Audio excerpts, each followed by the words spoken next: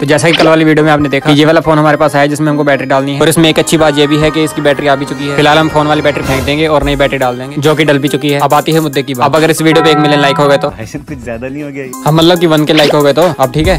तो हो जाने चाहिए। कर देना। अगर इस वीडियो पे वन के लाइक हो गए तो? मैं इस बैटरी को सीधा 220 वोल्ट में डाल दूँगा।